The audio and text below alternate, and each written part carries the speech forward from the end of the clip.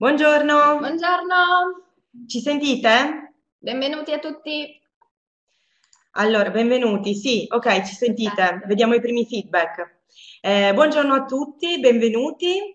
Eh, vi ringraziamo di essere presenti al nostro penultimo webinar. Eh, in particolare io ringrazio quelli del Sud America, Brasile, Argentina, perché credo sia prestissimo lì le 6 di mattina e mm, ci auguriamo di darvi la carica giusta per la giornata di lavoro. Scusa, penultimo webinar per il 2016. eh. Sì, eh, il prossimo, l'ultimo, sarà quello del dottor Marin sul video, quindi tra due settimane. Eh, poi, se volete, potrete, troverete anche il link per iscrivervi. Allora, per chi già eh, ha seguito i nostri webinar, sapete come funziona, troverete questa domande e risposte, questo box. Noi leggiamo le domande e le risposte, scusate, leggiamo le domande e vi rispondiamo di solito o live o con un messaggio Privato. eh, privato perché non è una chat, in modo che eh, stiate più concentrati su quello che vi chiediamo di fare. Eh, io direi che possiamo cominciare Sì. se non ci sono problemi. Se avete problemi, ricordate webinar-edilingua.it, vi risponde la nostra collega Elena Vianello. Allora, io direi di cominciare eh, e vediamo cosa faremo oggi. Allora, oggi parliamo appunto dell'insegnamento dell'italiano ai bambini, più in generale dell'insegnamento delle lingue eh, ai bambini, perché faremo alcune considerazioni generali che poi eh, hanno delle ripercussioni sul vostro lavoro, sull'intervento didattico che create nella prima parte. Nella seconda, con Anna, Sì, la prima parte vedrete appunto una, un'introduzione più teorica, no, con Elisa. E invece con me passeremo all'aspetto più pratico e vedremo di pianificare una lezione, tra virgolette, per i bambini e analizzeremo alcune attività. perfetto, cominciamo? Sì, me ne vado, buon lavoro, ciao!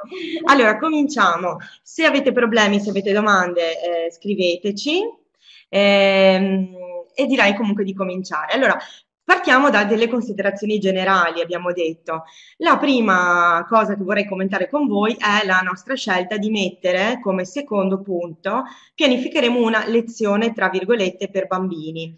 Abbiamo scelto di mettere lezione, tra virgolette, per una questione di ehm, perché non faremo riferimento esattamente a un contesto di insegnamento formale e di insegnamento agli adulti, perché questi due insegnamenti agli adulti e ai bambini vedremo hanno delle caratteristiche molto diverse, soprattutto eh, perché l'apprendente è molto diverso. Per lo stesso motivo, eh, noi condividiamo, anzi accettiamo la proposta del professor D'Aloiso eh, di cambiare la dicitura insegnamento precoce delle lingue con accostamento alle lingue in tenera età. Perché preferiamo accostamento alle lingue in tenera età piuttosto che insegnamento precoce? Ma eh, soprattutto perché, ehm, anzi non soprattutto, perché è un processo di apprendimento naturale. Apprendere una lingua è un processo naturale. Quindi eh, si innesca automaticamente e ha eh, date alcune condizioni come l'esposizione alla lingua e segue delle tappe ben definite. È un processo sul quale noi come insegnanti, come educatori, anche come genitori o zii nel mio caso, eh, non possiamo intervenire, non possiamo cambiare queste tappe, ma possiamo solo facilitare questo processo. Come? Eh, facilitiamo questo processo creando le condizioni più più favorevoli possibile questo, eh, perché questo si inneschi e continui. Come possiamo creare queste condizioni favorevoli? Ma innanzitutto tenendo conto dell'apprendente, eh, del bambino dal punto di vista affettivo, psicologico, ma anche cognitivo. Eh, proprio le caratteristiche del bambino che apprende sono importanti perché vari studi, e lo sapete molto bene anche voi come insegnanti e anche come eh, apprendenti di lingue o in, in generale apprendenti, eh, vari studi hanno dimostrato quanto eh, sia molto diverso il risultato che otteniamo in base all'età e anche al metodo di, alle modalità di apprendimento di una lingua. Quindi dal punto di vista cognitivo, il bambino ha delle caratteristiche che vanno tenute in considerazione nel momento della programmazione dell'intervento didattico.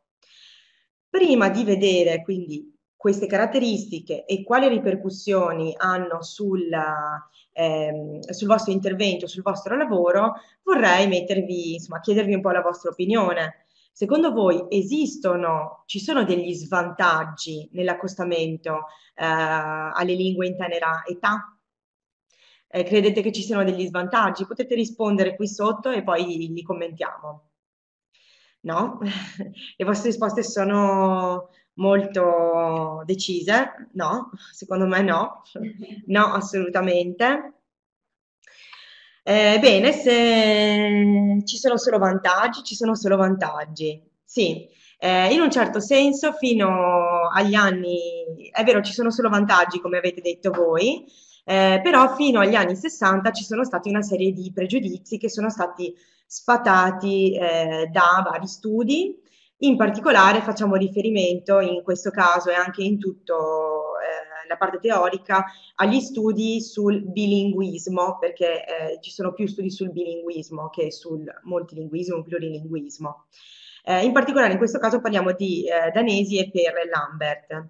Fino agli anni 60 appunto eh, si è parlato di difficoltà eh, e ritardo cognitivo, quindi si diceva che imparare due lingue eh, togliesse spazio in un certo senso ad altre cose o che una lingua togliesse spazio all'altra e che ci fossero delle difficoltà di concentrazione a causa di questo e che il bambino non fosse in grado di portare a, a termine dei task. Si parlava quindi di difficoltà di apprendimento, si fa confusione tra i due codici, non si, ehm, non si riconoscono le lingue, quindi eh, non si è in grado di produrre, di parlare correttamente, di parlare bene, c'è un ritardo. Eh, perciò si parlava anche di problemi scolastici. Eh, molto spesso veniva consigliato ai genitori di imparare prima una lingua e poi sottoporre, insomma, eh, dare la possibilità al bambino di imparare una seconda lingua. Eh, abbiamo visto che anche questo non, non è vero e l'ultimo grande pregiudizio, e questo forse eh, riguarda in particolare ehm, eh, figli, bambini nati da genitori che, stranieri che si trovano in Italia o italiani eh, che si trovano all'estero o coppie miste anche, una difficoltà di integrazione, quindi la difficoltà di ehm, di portare la seconda lingua in contesti che non siano quelli eh, familiari o di essere insomma eh, ben accetti. Anche questo abbiamo visto che con un più informazione e anche con la preparazione di eh, docenti e altri ehm, possiamo docenti, educatori, servizi sociali eh, può essere evitato. Eh, direi che visti gli svantaggi, eh, voglio sapere se invece siete più preparati forse sui vantaggi dell'esposizione a più lingue. Siete stati molto bravi con gli svantaggi, vediamo se eh, conoscete, potete un po' ricordate anche eh, quali potrebbero essere i vantaggi. Eh, te ne leggo, ti leggo alcune risposte magari. Elasticità mentale, miglior apprendimento, chi è più giovane appunto apprende, apprende meglio, apprendimento spontaneo e naturale soprattutto, okay. apertura mentale, sviluppo della memoria. Si apprendono le lingue in generale più facilmente. Sì, vediamo, si sviluppa maggiormente l'area linguistica del cervello. La, la pronuncia più corretta. Mm. Sviluppo di due codici paralleli. Ok. Lasciamo ancora, vediamo, meno inibizioni, credo ci sia scritto a un certo punto. Più agilità di pensiero. Scusate, quando sono con la testa giù significa che sto leggendo le vostre risposte. Bene, io direi che sì, avete parlato un po' tutti dei vantaggi. Quali sono? In generale possiamo dire che il, bambino ha dei vantaggi sia dal punto di vista cognitivo che linguistico che sociale, che delle competenze sociali. Da quello linguistico, come avete detto voi, eh, conoscendo subito due lingue, arrivando a conoscere subito due lingue, ehm, ha una maggiore consapevolezza di suoni, parole e frasi, quindi una maggiore abilità metalinguistica. Questo lo aiuta, come avete detto, a avere minori difficoltà poi ad imparare una ulteriore o ulteriori lingue straniere. La stessa eh, abilità metalinguistica poi lo aiuta a eh, apprendere velocemente a leggere, riesce a leggere prima di un bambino monolingue. Dal punto di vista invece eh, cognitivo, possiamo dire che ha una maggiore capacità di svolgere compiti, eh, due compiti contemporaneamente o in veloce sequenza. Questo perché eh, il bambino ha imparato fin dall'inizio ad inibire delle informazioni non importanti e quindi ha un'attenzione selettiva su quello che gli interessa in particolare. Naturalmente questo si sviluppa perché avendo a che fare con due lingue e con diversi interlocutori, il bambino fin dall'inizio deve capire quale lingua utilizzare verso quell'interlocutore e anche riuscire insomma, a, mettere, a chiudere in una scatolina la lingua che non deve utilizzare, che ha, di cui non ha bisogno. Eh, un altro molto importante ehm, vantaggio è che dal punto di vista della consapevolezza di sé e degli altri, il bambino plurilingue sviluppa la teoria della mente, TOM, eh, Theory of Mind, prima del bambino monolingue. Quindi ha una precoce capacità di riflettere sul suo comportamento e sul comportamento degli altri e questo lo porta a valutare i comportamenti e anche a fare delle ipotesi sui possibili comportamenti che si troverà ad affrontare. Un altro, e qui passiamo invece alle competenze sociali, eh, un altro vantaggio è la maggiore tolleranza verso le altre culture. Quindi eh, questo credo che sia una delle, vostre, una delle prime risposte che avete dato anche oggi. Eh, se non ci sono domande... No, se vuoi già dire, perché qualcuno ci chiede, ah, ma la bibliografia... Ah, giusto. Eh, oggi mi sa che mi sono dimenticata di dire che alla fine le cose a cui facciamo riferimento le trovate in una bibliografia scaricabile, un PDF, alcuni sono dei mm, volumi, altri sono eh, degli articoli che tratti da altri volumi, qualcosa potete trovare in internet perché come vi ho detto abbiamo fatto soprattutto riferimento al, um, agli studiosi del bilinguismo e ci sono alcune associazioni eh, di insegnanti e di genitori di bambini eh, plurilingue. Bene, smile. Eh, d'accordo, eh, continuiamo? Sì. Non ci sono domande? Bene. Allora, molti di questi vantaggi che abbiamo visto sono dati da eh, aspetti neurologico-cognitivi del bambino ehm, in se stesso. Vediamo un po' quali sono questi aspetti neurologico-cognitivi. Ora io farò un elenco, cercherò di eh, essere più chiara possibile, eh, però non ho messo l'età, però state attenti anche all'età perché è molto importante. Dunque, il primo aspetto neurologico-cognitivo che dobbiamo tenere in considerazione quando eh, ci rapportiamo al bambino come apprendente è ehm, il me- meccanismo di memorizzazione. Fino ai sei anni il bambino può contare sulla memoria implicita, quindi sono delle conoscenze casuali, eh, sono delle conoscenze che si basano sull'automatismo e che migliorano con la pratica. Quindi è molto importante la pratica prima dei sei anni. Dai sei anni in poi, verso i sei anni, maturano invece i meccanismi eh, della memoria esplicita, che è quella alla quale facciamo riferimento e che abbiamo a disposizione noi adulti. Quindi la possibilità di richiamare delle informazioni in, ehm, in maniera eh, razionale e anche volontaria. Questo è molto importante, quindi verso i sei anni matura la, matoria, la, la memoria esplicita. Un altro aspetto da tenere in considerazione è che un bambino è il suo massimo sviluppo sensoriale, quindi utilizza tutti i sensi per entrare in contatto, per recepire delle informazioni e allo stesso modo anche utilizzando più sensi riuscirà a trattenere meglio le informazioni, cioè quello che ha fatto.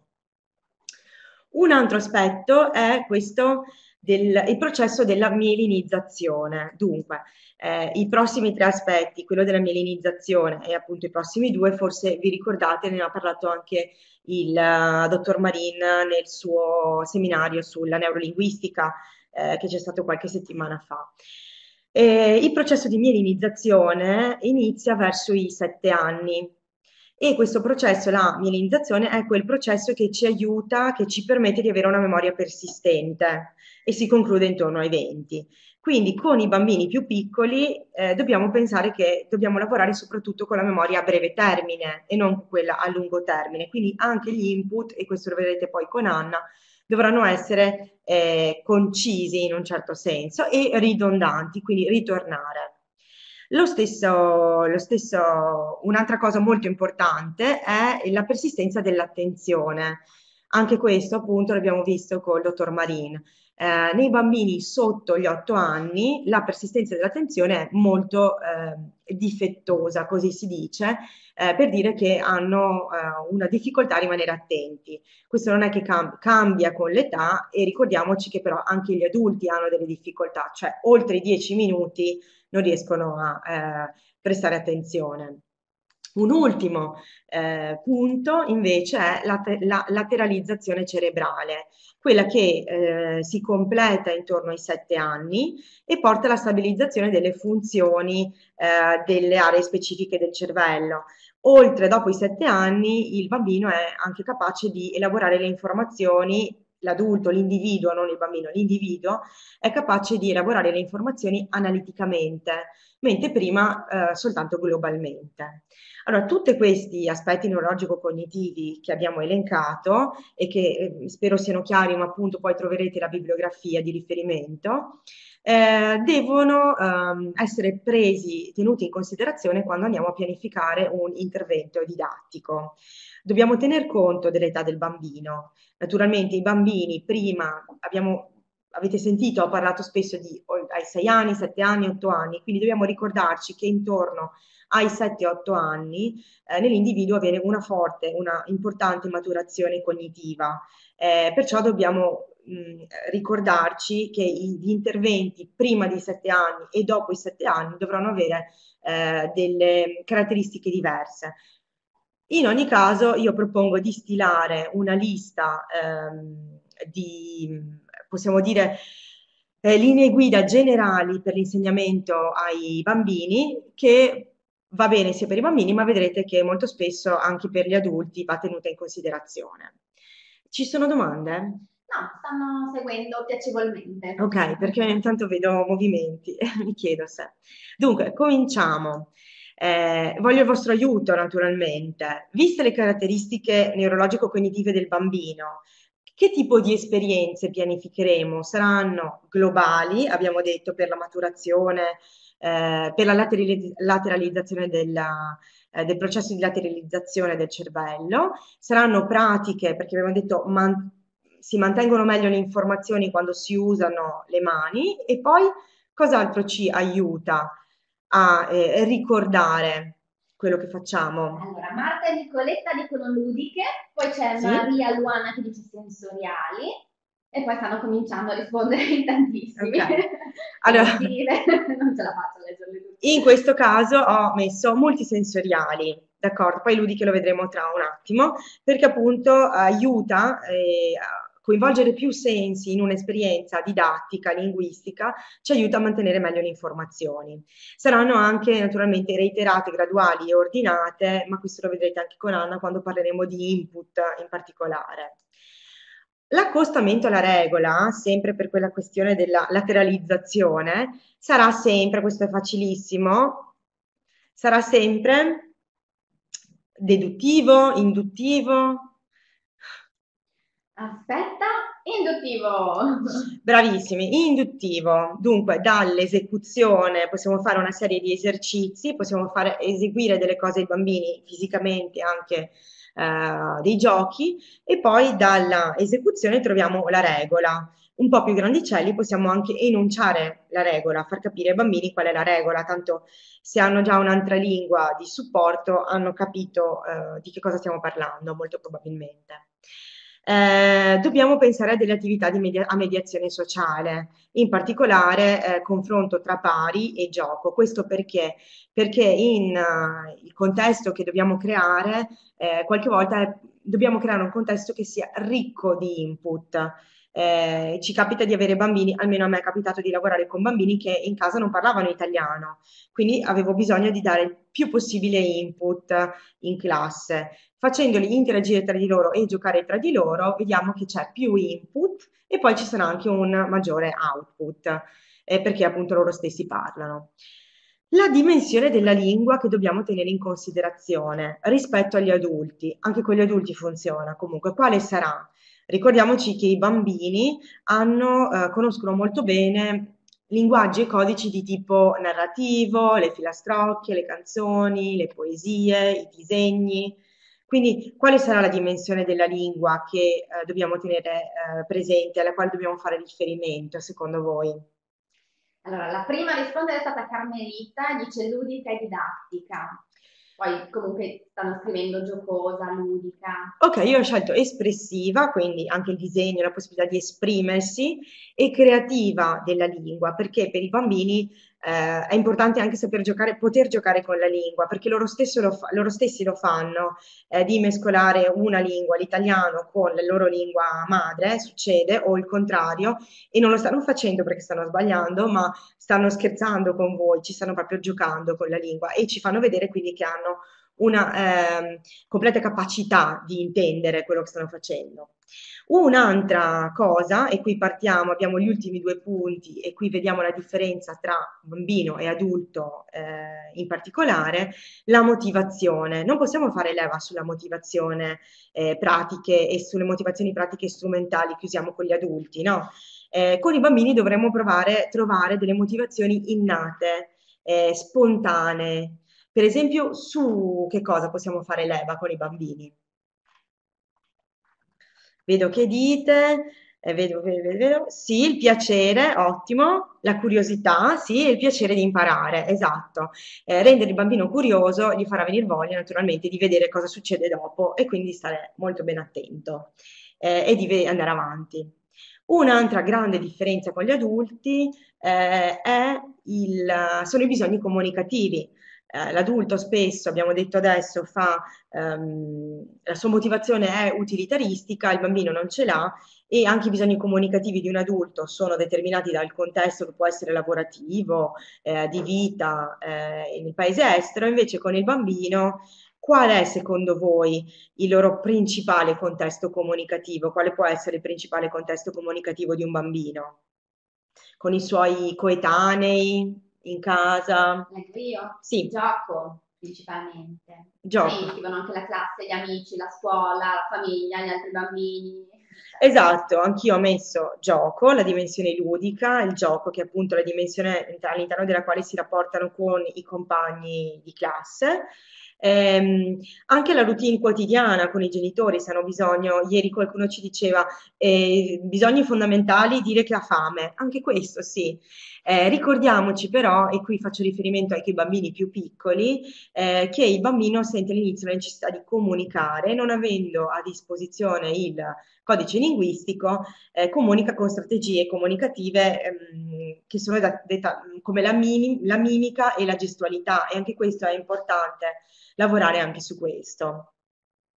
Bene, visti un po' questi, eh, queste ripercussioni sulla pianificazione dell'intervento didattico, eh, io vorrei tirare un po' le fila con eh, i tre punti chiave ehm, per creare questo famoso contesto di cui parlavamo prima che deve essere favorevole all'attivazione di questi eh, processi. E qui parliamo proprio della classe, cioè di come può essere la classe e che cosa possiamo fare in classe abbiamo individuato questi tre punti chiave, ci piace un po' riassumere così.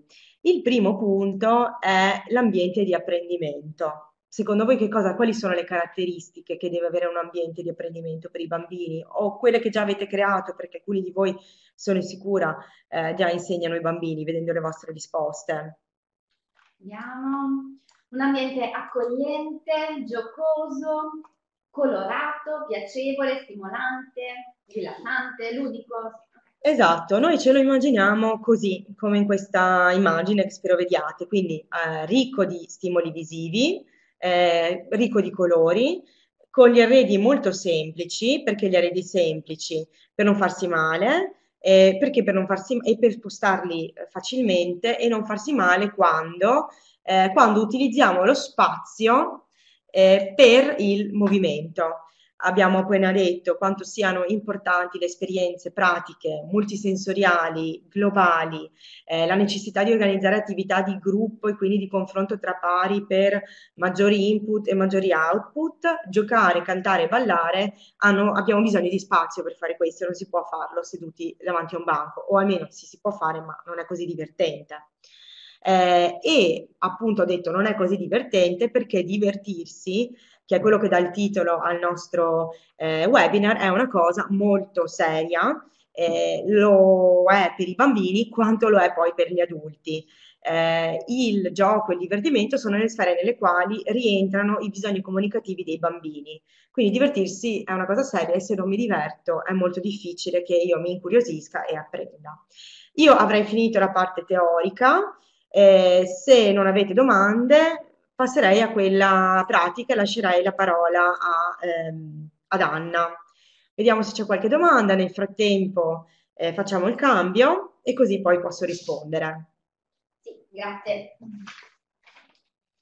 Allora, eccomi qua. Hai già spostato tutto tu, perfetto. Non sono caduta, sono qua. Adesso eh, riattivo la webcam. Eccoci qui. Perfetto, eh, allora avete visto con Elisa i tre punti chiave, ovvero i tre presupposti eh, per noi imprescindibili nell'insegnamento eh, di una lingua ai bambini o comunque dell'insegnamento ai bambini. Vediamo ora come pianificare una lezione, abbiamo detto una lezione tra virgolette perché forse possiamo eh, più forse definirla una sorta di incontro, e, appunto per questo tipo di pubblico di, eh, di bambini. E poi eh, anche alcuni esempi pratici di attività che potrete anche riutilizzare nelle vostre classi oggi stesso se volete. Allora, nello specifico, oggi eh, analizzeremo delle attività che sono pensate per bambini di eh, età maggiore di 7 anni. Questo perché, come avete visto oh, con Elisa, hanno delle esigenze diverse dai bambini più piccoli e oggi ci concentreremo su questo, uh, questa categoria. Ecco. Allora, nel pianificare una lezione è importante innanzitutto individuare quanti e quali sono i momenti che devono caratterizzare la lezione stessa e noi ne abbiamo individuati quattro. Allora, il, eh, la prima fase è quella di introduzione e di primo contatto. Una seconda fase di presentazione e analisi del testo, una terza fase di fissaggio di contenuti. E una quarta e ultima fase di verifica. Questi eh, momenti però vanno eh, sempre preceduti, secondo noi, da una fase altrettanto importante eh, per facilitare l'apprendimento da parte dei bambini ed è una fase che noi abbiamo chiamato fase zero. Che cosa facciamo in questo momento della lezione, dell'incontro? Voi eh, vorrei sapere da voi, vediamo, vi metto un sondaggio che trovate qui sotto il mio viso. Che cosa è importante esplicitare prima ancora di cominciare una lezione? Con i bambini, eh? Ok, vedo che la maggior parte sta rispondendo già agli obiettivi, le attività, i tempi non, non piacciono. no, sì, effettivamente no, i tempi è difficile dire 10 minuti, un bambino non ha la concezione del tempo, però magari la progressione di tempi, sì, cosa si fa prima, cosa si fa dopo. Esatto. Ok, allora vediamo insieme, appunto dicevamo in questa fase è importante eh, esplicitare, come avete risposto bene, gli obiettivi, quello che andremo a vedere, non so, oggi vediamo il, i nomi degli animali per esempio, e i tempi, quindi ora, stamattina, no? E, e le attività, quello che andremo a fare. Perché? Perché anche come gli adulti, anche i bambini eh, hanno bisogno di capire cosa stanno facendo. Ok, detto questo, passiamo alla, uh, ad analizzare la prima fase, la fase, come abbiamo detto, di introduzione e primo contatto. E noi abbiamo, che cosa abbiamo fatto nella fase 0? Abbiamo stretto una sorta di uh, patto con i, nostri, con i, nostri, studenti, con, i, con questi bambini. E abbiamo quindi esplicitato quali sono i termini della nostra lezione e, e, quindi ora possiamo passare all'incontro con gli elementi linguistici che abbiamo scelto di, eh, di, trattare. Quindi che cosa facciamo in questo caso? Prepariamo lo studente eh, ad affrontare il testo fondamentalmente. Allora, voi, aspettate che vi cambio il, uh, vi metto il sondaggio, voi che cosa fate prima di presentare un nuovo testo in classe? Su che cosa vi, che cosa vi dedicate, insomma? Fate delle domande, ok? Un brainstorming. Controlliamo il vecchio vocabolario. Esatto. Parole, lessico. Mm-hmm. Immagini. Sì, consegnano delle immagini, vedo. Ok. Quindi controllano il vecchio lessico, vedono un nuovo lessico, qualcuno parla dell'argomento, quindi parla un po', lo contestualizza, eh, molte immagini, canzoni, Mhm, eh, parole chiave. Esatto. Ok, io direi che ci siamo. Sì, tutto questo che, che avete detto, che state scrivendo, è esatto. E eh, perché facciamo questo? Perché abbiamo bisogno di eh, attivare le preconoscenze del bambino, come avete giustamente detto. Abbiamo bisogno anche di riprendere i contenuti che già sanno, che hanno già visto, che avete visto insieme fondamentalmente, e eh, di fornire le parole chiave che serviranno no, poi per la fase successiva per comprendere meglio um, l'input che daremo successivamente. Qual è lo scopo di questa attività, quindi, che voi uh, fate in questa fase, che noi insegnanti facciamo in questa fase? È appunto quella di fornire gli strumenti che permetteranno al bambino di avvicinarsi eh, ai nuovi contenuti senza paura, senza timori. Perché questo? Perché eh, gli strumenti eh, che, che, noi forniamo in questo modo eh, creano interesse, quindi eh, interessiamo i bambini, li eh, motiviamo, abbassiamo il filtro affettivo, perché? Perché anche riprendendo dei contenuti li facciamo sentire un po' a loro agio, no? Perché sanno già qualcosa, si rendono conto che sì, non sono completamente immersi in un, in un mondo nuovo, ma ritrovano dei, dei punti fermi. E eh, infine aiutiamo la comprensione perché dando eh, appunto le parole chiave diamo i mezzi eh, e le parole per comprendere meglio lo stimolo che presenteremo appunto nella seconda fase. Vediamo qualche esempio più pratico però, perché qui non facciamo solo teoria. Allora, eh, vediamo questa immagine, osservate, aspettate che vi cambio la, il sondaggio. Grazie Elisa. Allora, osservate bene questa immagine, gli elementi eh, che vedete e provate a rispondermi su quali elementi portereste l'attenzione dei bambini. I colori, il gatto, il gatto lo vedono tutti quanti. Gli animali, i mobili. Il cane, sì. Quindi molto lessico. Mm-hmm. Vediamo se esce anche qualcos'altro oltre al lessico la casa, anche sempre come lessico. E su cosa lavorereste? Oltre al lessico, forse c'è qualcos'altro su cui possiamo lavorare? O come lavorereste con il lessico? No, eh, non riesco beh, a leggere le altre risposte. Descrizione, quindi anche sì, anche un ottimo un tipo di testo, la descrizione.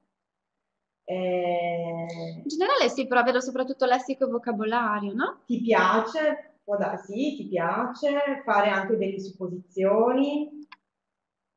Eh, immaginare dov'è il padrone, come mai, cosa stanno facendo gli animali mentre il padrone è via, come ti sentiresti, quindi anche lavorare sulle sensazioni, dov'è il gatto. Mm. Okay. Preposizioni di luogo, qualcuno dice, ho visto adesso. Sì, posizione degli oggetti, quindi anche posizione, ok. Bravi. Ok, esattamente, adesso vediamo come eh, noi abbiamo pensato di sfruttare eh, questa immagine. Allora, questa eh, attività, spero che la vediate adesso fra un po' ve la, ve la zoom, ehm, l'attività che abbiamo proposto è quella di cerca l'animale e metti un tic. Eccoci qua. Allora, che cosa facciamo eh, questa, in, con questa attività? Svariate cose, perché innanzitutto forniamo il lessico in una maniera eh, più indiretta, quindi attraverso un'attività ludica, perché loro devono riconoscere l'immagine, la vanno a cercare dentro la stanza, però contemporaneamente vedono il nome dell'animale scritto. Poi, oltre a questo, eh, riprendiamo anche dei contenuti. Perché? Perché magari la parola gatto già la conoscono, magari ce l'hanno a casa, però un pappagallo forse no. E quindi introduciamo anche eh, lessico nuovo e riprendiamo quello vecchio. E che altro possiamo fare? Come qualcuno appunto ha detto e risposto, potremmo utilizzare te- questa immagine anche per riprendere gli indicatori spaziali, no? Giocando per esempio a un gioco dov'è il gatto? È tra la tavola e il divano, oppure qual è l'animale dietro la televisione? Ecco, questi sono solo alcuni, alcuni spunti. Sembra che si riconosca la televisione. sì, va bene. Allora, questo era un primo, un primo spunto. Ne diamo un altro, una canzone. Allora, eh, ve la faccio ascoltare e poi mi dite un pezzettino e poi mi dite eh, come possiamo eventualmente utilizzarla. È partita? Sì. Spero il volume non sia troppo alto. Non è partita? Sì.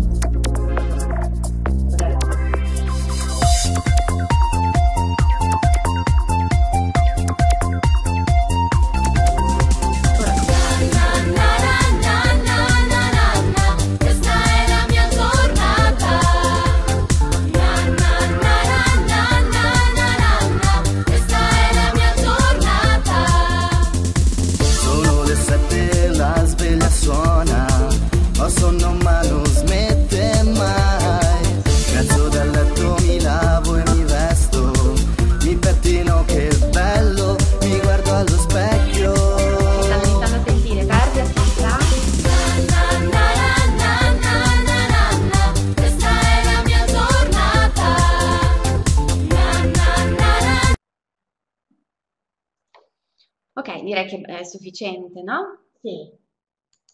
Allora, la stoppo.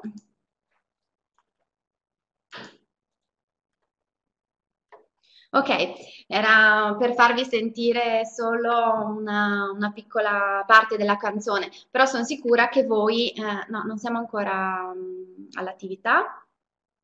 No, non ho cambiato io. Eh. Sì. No.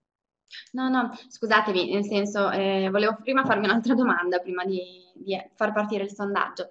Allora, dicevo, vi ho fatto sentire solo un piccolo pezzo della canzone, però sicuramente avrete eh, captato quali sono gli elementi presenti su cui si potrebbe lavorare. C'è qualcuno che ci, che ci risponde? Allora, io vedo oggetti in bagno e nelle stanze.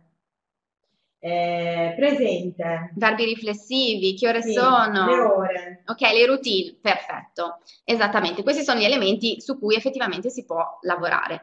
Allora, eh, adesso posso... Attività quotidiane, attività quotidiane, vediamo immagini in sequenza con i verbi, eh, verbi riflessivi, la routine, i numeri, le ore. Ci siamo, direi? Sì, sì, sì, sì. Quindi, perfetto. Allora, adesso vi posso mettere il sondaggio eh, che avevate già iniziato a, a cui avevate già iniziato a rispondere. E, avendo detto quali sono gli elementi su cui potremmo poi lavorare, quali attività proporreste per presentare questa canzone? Allora. Dunque, lasciamo un po' di tempo che si stabilizzino. Mhm. Comunque vedo che eh, un po' tutte le attività sono state, vengono scelte, eh, completamento, abbinamento, drammatizzazione, karaoke, gioco, riordino, taglia e incolla. Eh, vorrei che vi ricordaste, potete cambiare le vostre risposte, che siamo in una fase di introduzione e primo contatto, quindi non di analisi ancora. Abbinamento sì, ma come?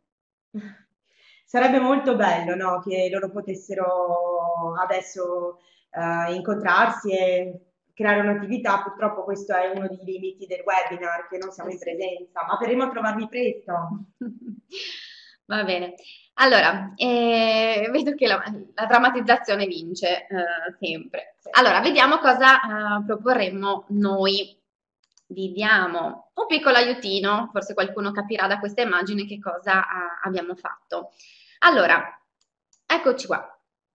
Che cosa abbiamo preparato? Noi eh, faremo fare un'attività di taglia e incolla, quindi forniamo delle immagini che rappresentano appunto le azioni della giornata, i bambini li devono ritagliare e poi quando ascoltano la canzone devono eh, inserire appunto l'immagine giusta e incollarla sulla, sulla fetta dell'orario esatto.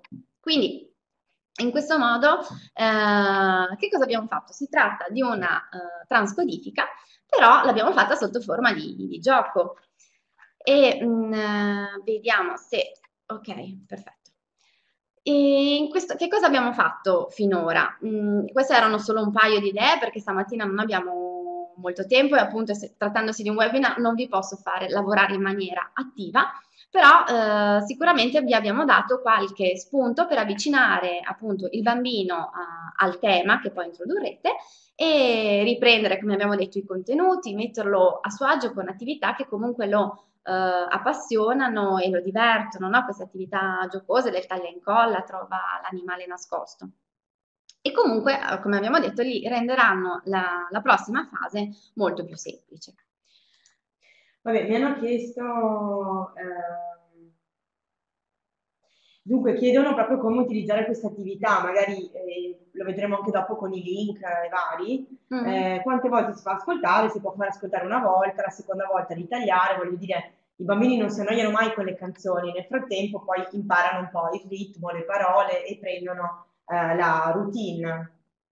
Ok, grazie Elisa. Allora, ehm, passiamo al secondo momento. Allora, se, vabbè, al massimo alla fine cercheremo di rispondere alle altre domande se ce ne sono. E, um, passiamo, detto, al secondo momento, che è il momento dell'incontro con il testo vero e proprio. Però facciamo prima una piccola uh, parentesi, una piccola digressione su, uh, sui tipi di testo. Quindi, quando noi parliamo di testo, parliamo sempre di, ci riferiamo ad un input. E sappiamo tutti ormai che ci sono tanti tanti uh, tipi di input, vari tipi di input. Quali sono? Visivi, orali e scritti. Non, vi, non ve lo chiedo perché so che siete preparatissimi e uh, li conoscete meglio di me. Allora, eh, però vorrei chiedervi uh, se parliamo di input visivi, quali, ehm, quali tipi di input appunto possiamo utilizzare con i bambini? che voi stessi utilizzate già, perché ovviamente... Immagini. Immagini. Oggetti concreti. Oggetti concreti, video, marionette, sì che voglio ah, che oggetti carino. concreti. Sì, ci siamo, direi, disegni, immagini, foto, video, oggetti concreti, eh, oggetti concreti. Mi sembra che questo sia molto importante, un input visivo e abbiamo prima detto no, della multisensorialità, quindi non solo la vista, ma anche la possibilità magari di cambiare e girare le lancette dell'orologio. E se non vedete le risposte è perché le leggo solo sì, io. Infatti, sono private. Eh, Elisa ci aiuta. Ok, allora, esattamente come avete detto, e ehm, soprattutto appunto gli input devono essere delle immagini di vario tipo come ci avete giustamente scritto oppure dei uh, fumetti. Perché appunto utilizziamo questo tipo di immagini, uh, questo tipo di, scusatemi, input visivi? Cosa ci permettono di fare? Le immagini e fumetti. Mm-hmm. Lascio un, un minutino, neanche 30 secondi.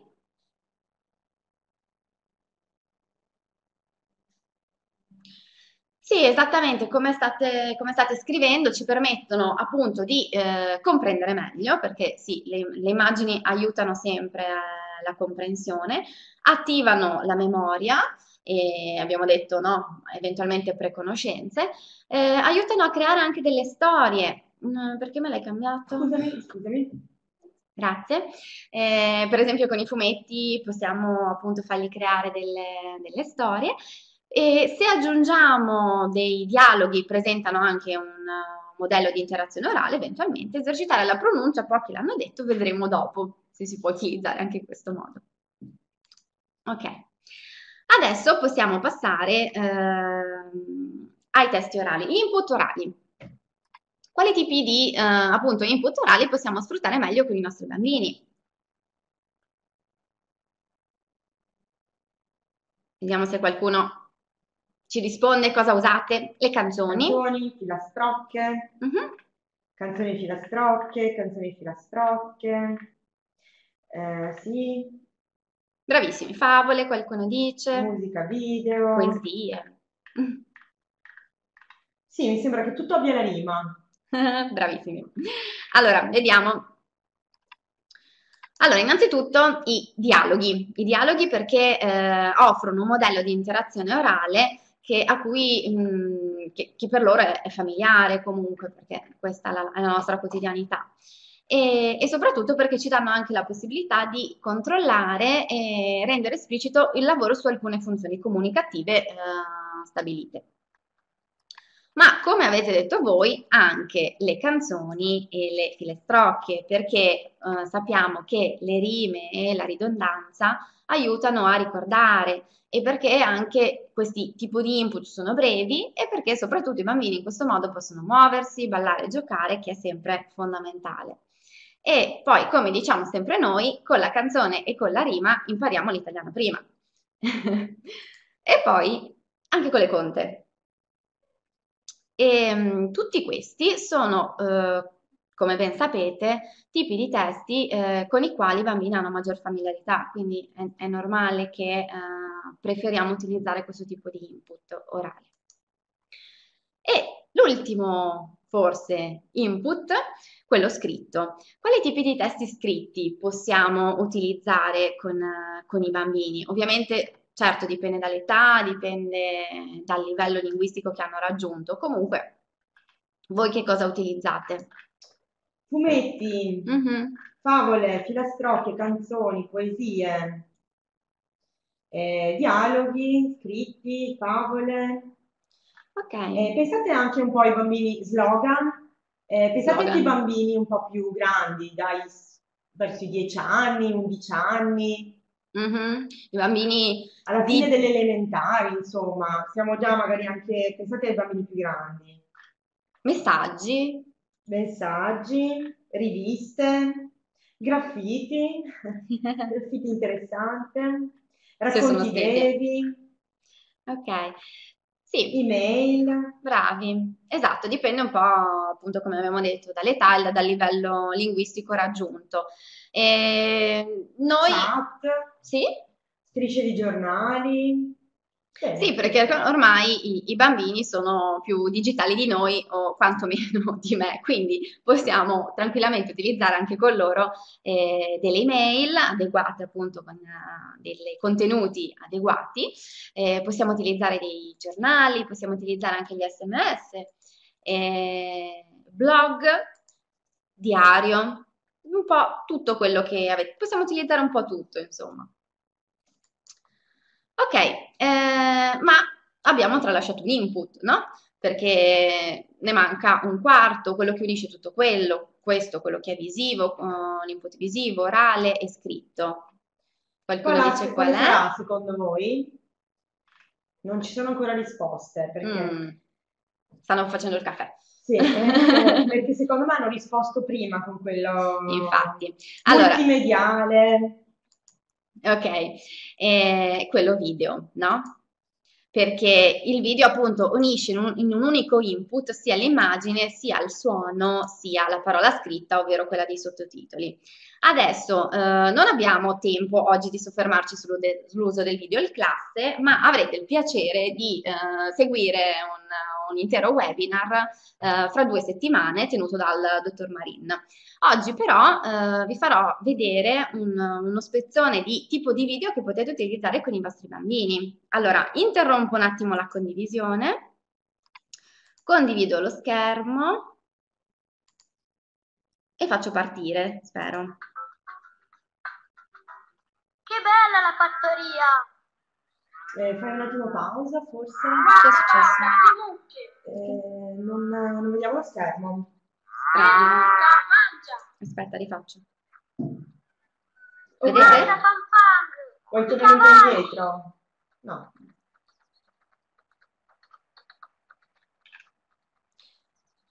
Oh, bello questo cavallo nero. No. Venite a vedere i maiali. Non hai tolto Guardate il maialino. Fermo maialino, vieni qui. Edmond, attento al gatto. Aiuto! Come corrono le galline. Ok. Allora, ti rimetto in presentazione. No, aspetta, aspetta un attimo.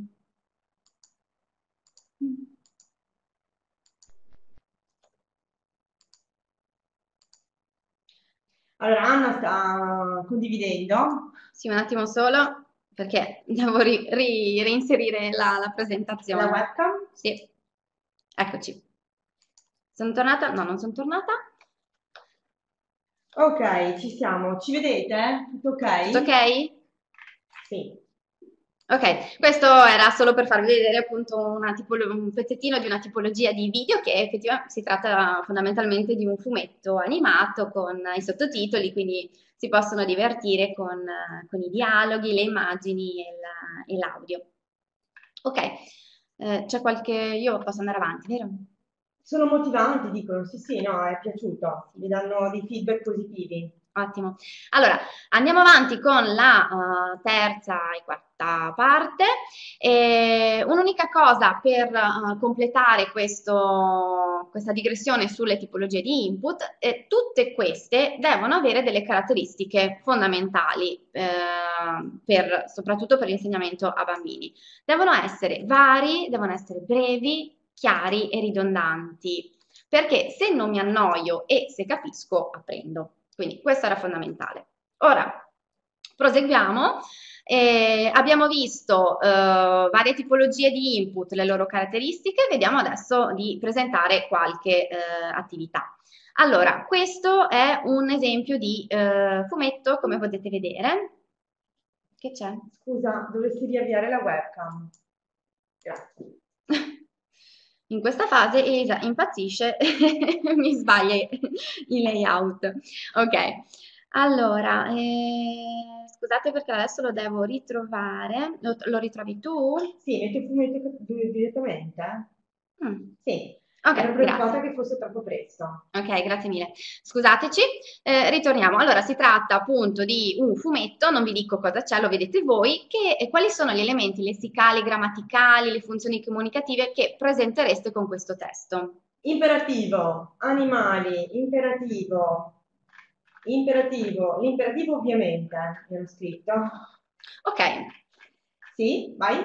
Vado, vediamo un po' che tipo di attività potremmo fare, eh, su cosa potremmo lavorare. Noi per esempio in questo caso lavoreremo sul lessico appunto del- degli animali della fattoria e sull'aspetto morfosintattico del singolare e delle del plurale.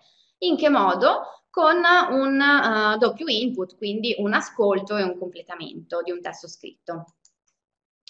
Vediamo un secondo esempio, questo è un breve testo, si tratta di una descrizione. Ciao, mi chiamo Francesco, ho 8 anni, abito a Napoli, mi piace la mia città, è molto bella, c'è il mare, c'è il Vesuvio. Domenica sono andato con il mio papà sul Vesuvio, forte.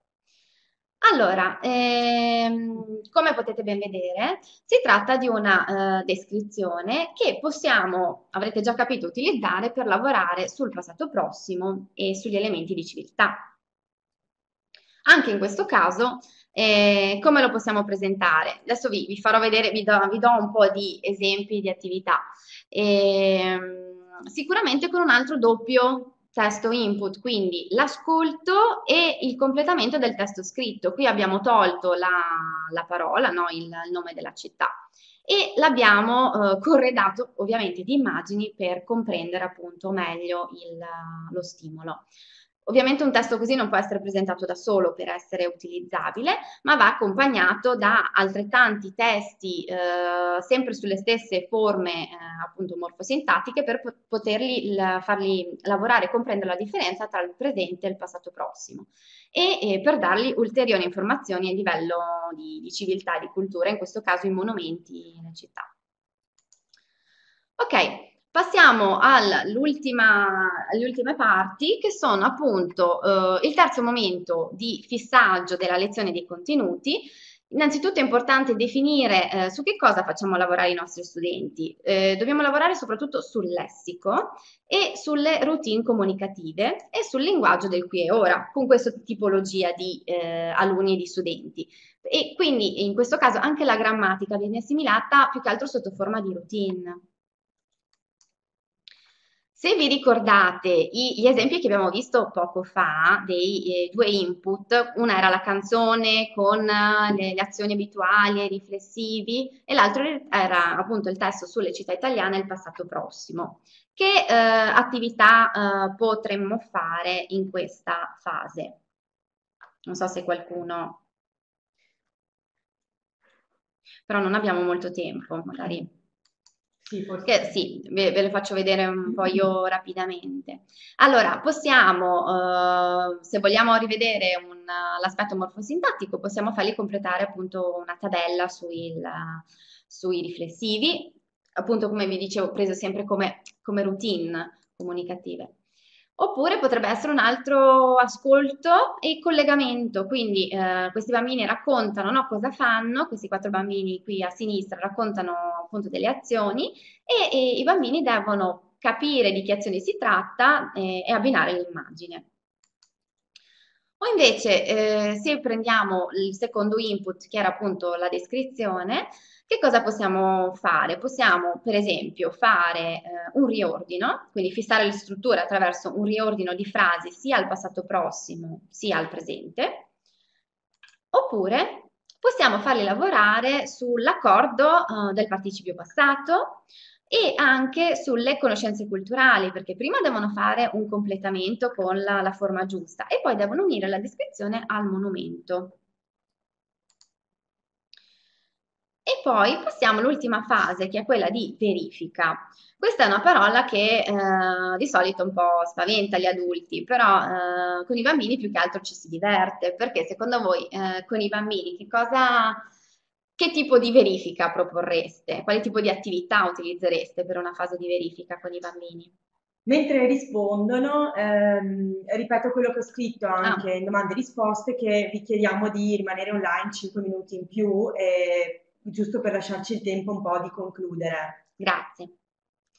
Sì, creare testi, roleplay, roleplay, brevi presentazioni personali. Giochi, giochi, giochi, descri- descri- quindi parlare, giocare, ehm, parlare, giocare, mm, attivi- drammatizzazione, attività di gruppo, mimare, roleplay, attività ludiche.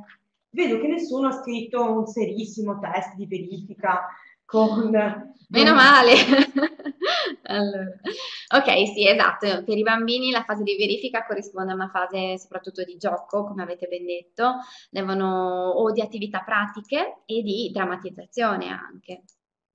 Vi, vi diamo noi qualche esempio che potrete sfruttare, per esempio con questo testo input che abbiamo visto della sala da pranzo con gli animali e vogliamo vedere appunto se si ricordano gli indicatori spaziali, e l'altro testo, scusatemi, sui fumetti e gli, animali della fattoria. Vediamo, eh, per esempio, appunto, il primo testo input, come, come possiamo, come possiamo verificare che abbiano assimilato gli indicatori spaziali. Un semplice, ok, completamento con eh, appunto dov'è Chicco, questo Chicco è il gatto e devono inserire appunto dove si trova.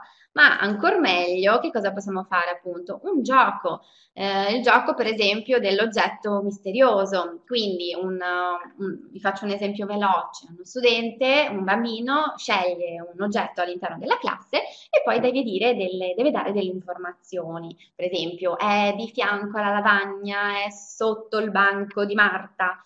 E, e gli altri bambini devono, devono capire appunto di che oggetto si tratta. Per quanto riguarda il fumetto, che cosa possiamo fare, per esempio? Possiamo fargli fare un crucipuzzle. E loro vedono le immagini e mm, devono, trova- devono ricordarsi la- il nome dell'animale e trovarlo nel crucipuzzle e poi riscriverlo. In questo modo, tra l'altro, si creano anche un loro, si, si formano un proprio vocabolario, no? Eh, handmade che potranno riutilizzare per tutto l'anno. Oh, di nuovo un altro gioco. Questo gioco è Trova il tuo simile, non so se qualcuno già lo conosce. Che cosa possono fare? Gli diamo delle tessere con queste che vedete qui eh, sulla, sulla presentazione. Eh, sono degli animali, quindi ogni bambino pesca una- la tessera e, e corrisponderà appunto ad un animale e poi deve cominciare a girare per la classe a quattro zampe e a fare il verso dell'animale. Ci saranno due studenti con lo stesso animale, quindi deve trovare l'altro animale che fa lo stesso verso. E poi eh, il gioco si conclude con una frase tipo noi siamo le mucche, noi siamo i leoni, eccetera, e quindi lavorano su queste strutture.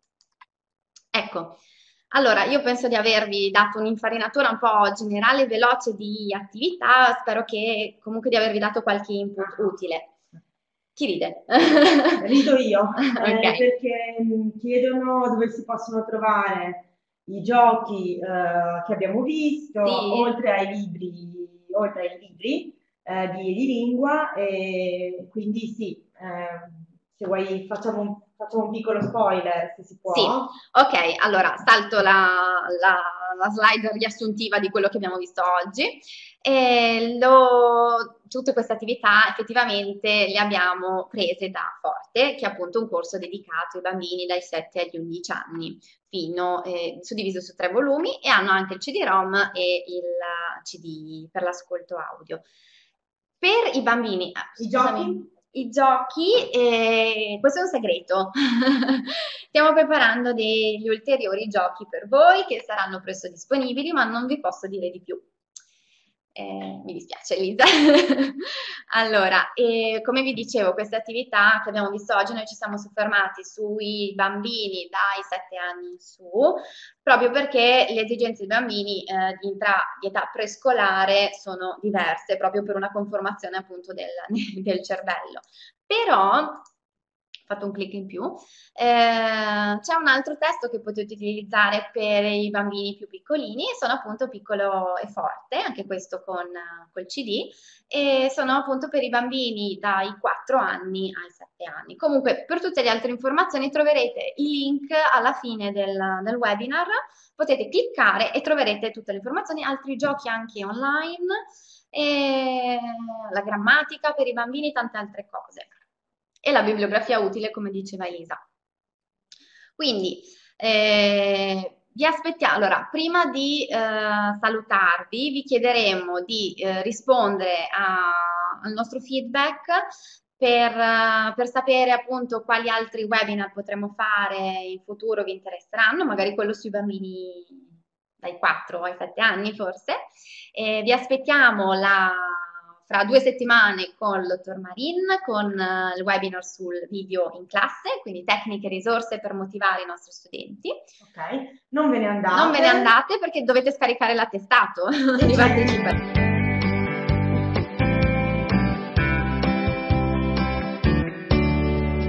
Ciao, ciao, ciao.